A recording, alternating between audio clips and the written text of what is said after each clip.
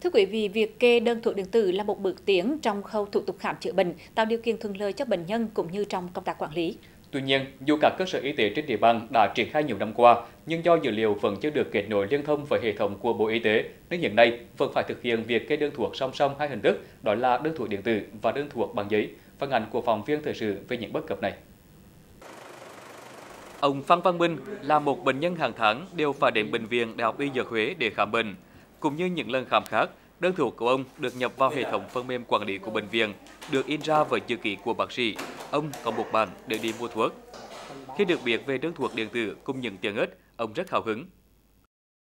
Giảm thời gian và tiền bạc cái là lãng phí của bản thân của mình. Nếu như không có các mức mã số thì có đơn có bạn nhớ mã số thì cũng tìm được cái, cái để mà, mà mua thuốc. Thì cá nhân tôi cũng như toàn dân thì làm nhà nước và cải thiện về rất hoan nghênh. Năm 2015, Bệnh viện Đại học Y Dược Huế đã triển khai kê đơn thuốc trên máy tính. Tiện ích dễ nhận thấy nhất là đơn thuốc điện tử liên kết với phần mềm quản lý dược để sử dụng chung thông tin. Dược sĩ sẽ nhập thông tin thuốc cho bác sĩ sử dụng. Khi kê đơn, bác sĩ thấy được giá tiền của tổng đơn thuốc, từ đó cân nhắc việc kê đơn phù hợp cho từng bệnh nhân.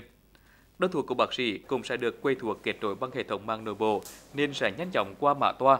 Dược sĩ không cần phải nhập liệu lại tên thuốc, giảm thời gian chờ đợi cấp thuốc của người bệnh.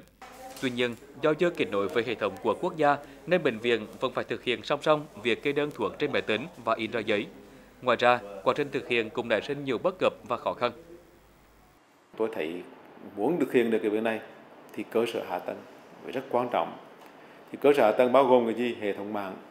Phải nói là hệ thống internet của chúng ta hiện nay chưa tốt, chưa đủ để truyền các dữ liệu. Thứ hai là à, cái hệ thống lưu trữ dữ liệu mà chúng ta tiến tới một cái cái thế giới mà uh, trí tuệ nhân tạo nó nó chiếm lĩnh thế thì việc mà chúng ta có một cái hệ thống rất lớn để dự lưu dữ liệu đó gọi là big data thì rất quan trọng thế nào chúng ta có một hành lang khác để công nhận các cái các cái cơ sở dữ liệu của toàn cái hệ thống này với nhau được. Ví dụ như một tuyến bệnh nhân tuyến huyện chuyển lên tôi thuốc chúng tôi công nhận nha.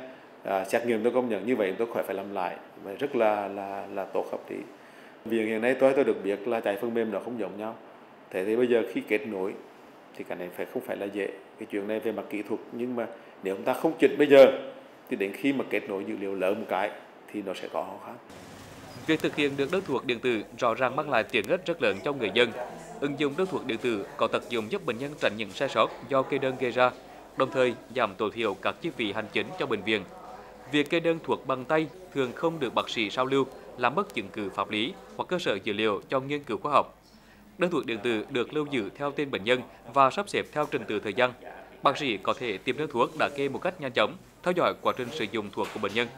Điều này rất cần thiết đối với các bệnh mãn tính như cao huyết áp, tiểu đường, tim mạch. Người dân đang rất mong chờ để ngày ứng dụng này đi vào thực tiễn.